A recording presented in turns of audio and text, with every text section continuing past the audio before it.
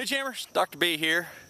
Here's a great questioner from Duke Fastclaw, and they ask, why do dogs pant? You know what panting is, right? That's panting. Well, dogs pant uh, to cool themselves down.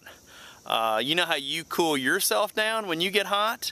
Uh, you have sweat glands uh, all over your body and you sweat uh, you perspire, which, which helps cool your body. Well, dogs don't have as many sweat glands as we do, so they make up for it by panting, which cools their body down. Awesome question.